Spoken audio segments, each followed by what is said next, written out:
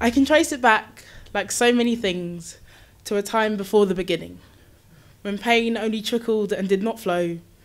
I am sat on the bedroom floor with the girl who used to bully me.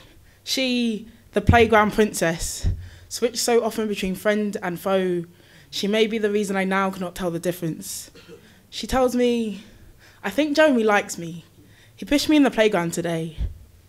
I am confused. I am yet to know what it means to hurt the ones you love.